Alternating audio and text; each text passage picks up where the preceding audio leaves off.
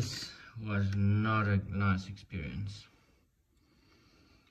So this is where your where your um, injector would sit and um, on the end of the injector you would see there is that little that thing there so what happened I removed the injectors put in a new fuel rail uh, well put in new um, injector seals and o-rings put the injectors back crank the car and then um, I saw the fuel was spewing past the injector. So the, this thing wasn't seated very nicely and um, after that when I removed the the injector rail and um, I saw one of these caps were missing. This one was missing. And um, as you can see it uh, did a few cycles but luckily not with the engine um, fired uh, or would say the engine running. I just cranked the engine and then I heard it was making weird noises. And um, and of course the the fuel rail spewing out fuel everywhere. So I definitely knew there was an issue. So went to the china shop and um, bought myself a little borescope and if you let's see if we can get it in there. Okay she's in. A bit more a bit more. Bit of twisting and turning, twisting and turning. There we go, she's in. Now, as you can see, by turning her around and round and round and round and round and round, you could see what's going on inside of the cylinder. And um, after about four hours of mucking about, um, this was my, my solution. So what I did was First I took a piece of pipe, um, linked it there from the uh, um, the hoover, what you call it, uh, and anyway, from the hoover, and um, put a piece of pipe there, did this, this one connects there,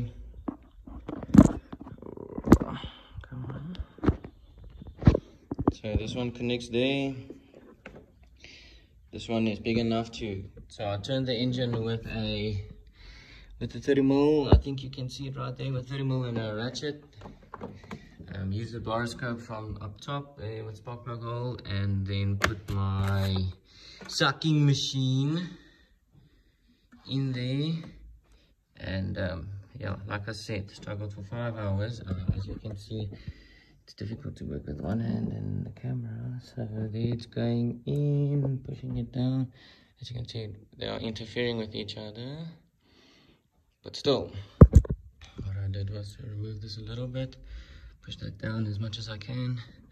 And then was just well I just start sucking sucking sucking sucking sucking sucking sucking. And um, every single time it came up right up into the up until the valve. And um, so I saw okay well it didn't come past there. So what came with my little um, endoscope was these these fittings. So you could fit this um, it's like a little magnet and um, a little uh, camera or a back view. Sorry for the non-focus button. Anyway uh, so you put that on a piece of wire. That wire yeah use some masking tape. And um, yeah that works. I, I, I, could I managed to pull it out from there. Uh, remove the endoscope to suck from there so it could just get on top of the valves and then um, remove this fitting and um, use the big the big pipe to suck it out. And luckily it came out and um, yeah my dad was not impressed with me when it happened but I believe um, he'll be quite happy. So now we have to see if nothing got hurt in the process because um, there was a bit of wires inside the cylinder, a bit of plastic. Uh, well, there was a piece of plastic. It did a few cycles and um, luckily got a new injector tip. Uh, yeah, injector cap, injector tip.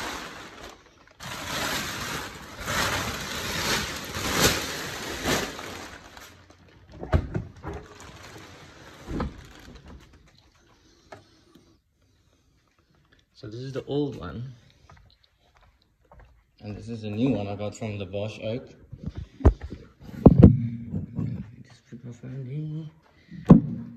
So this thing didn't seat that well. I think I had too many shims in. I had too many shims in there and it couldn't and it didn't seat. Now it can't come off. Oh, it's not coming off. So old one, perfect good condition. Removed it for no blumming reason. And um, new one, which definitely not anymore. And well, there's the, the, the new newest one to the collection.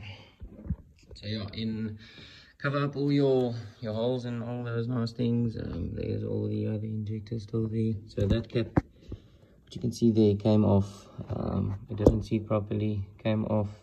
Enjoyed a few days in the engine, and um, yeah, luckily removed it with a lot of hassle.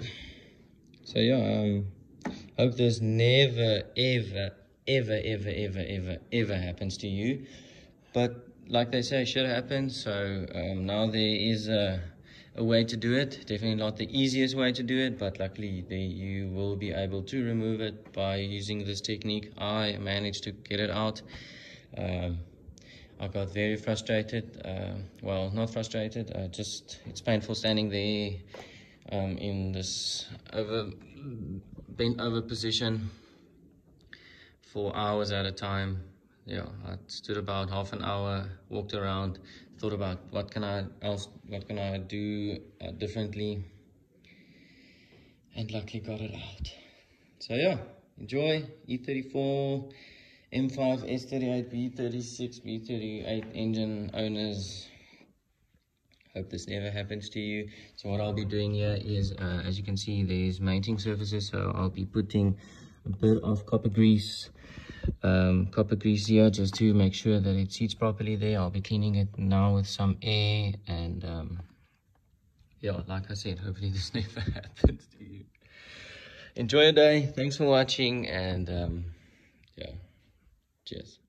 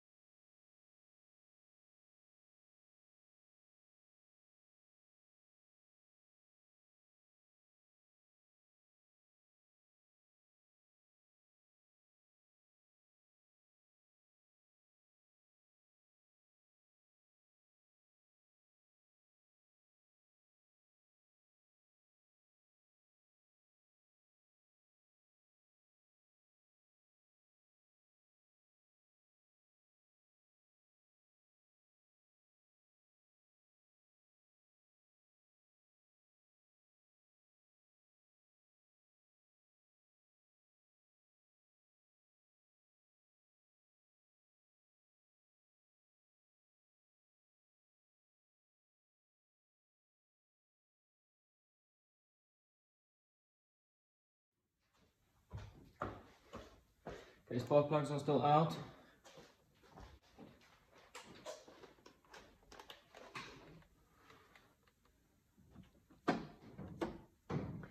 Have to make sure there's nothing in the way. 100% sure.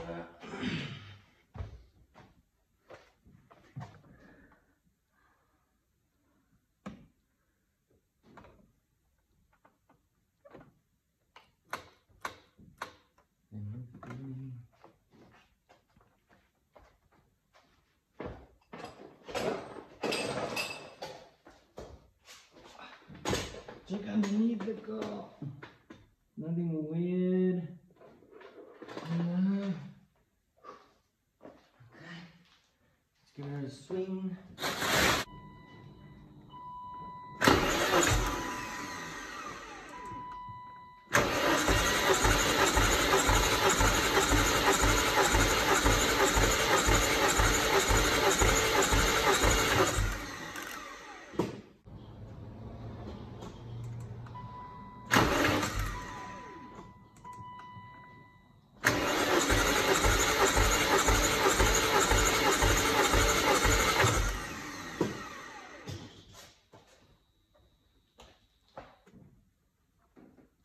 Smell fuel? Oh, I definitely smell fuel. Fuel rail looks alright. Okay, we'll start recording.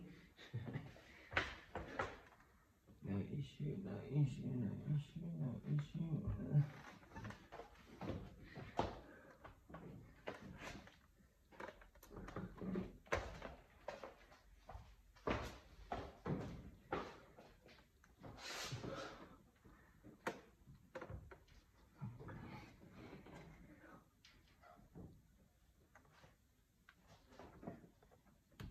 And look alright.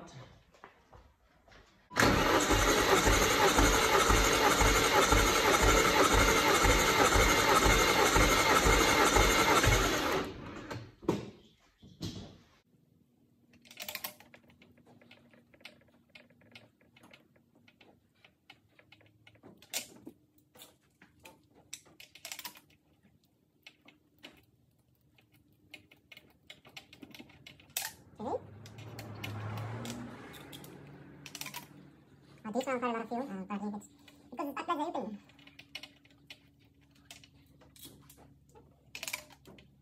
Uh, this car really gave me a fright. Oh wow, I got a big fright when that piece of injector cap fell inside the engine, inside the piston to the valve. Yep. It was not one of my big highlights. Definitely not. But yeah.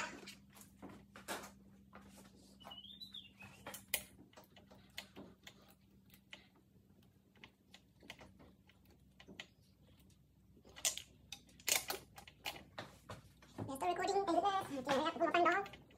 Well, don't rush. Don't rush because your camera is going down. Never rush. Don't be like me.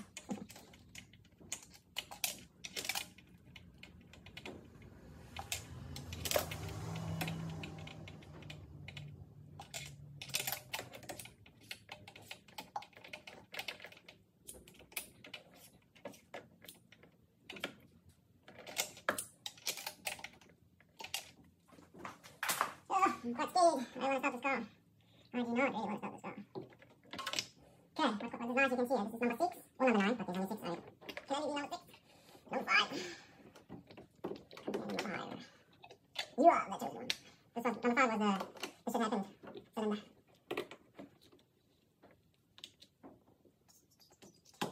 Come on, friends. Come on, man. Okay, number three. Let's think of Mickey. Number four. Uh, number two. Come on. Number two. Number two. Come on. Come on. Come on. Okay, okay, okay, okay. Ah,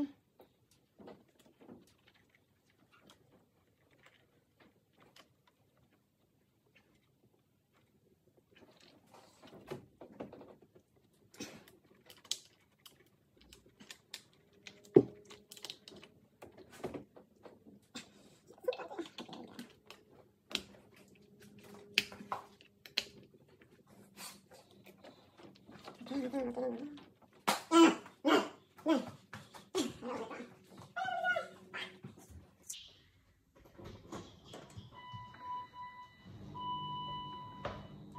this would be the first start of the vacuum revival. Um, change the fuel, uh, the injector O-rings and um, plastic injector cap fell in cylinder 5. Removed it. So let's see.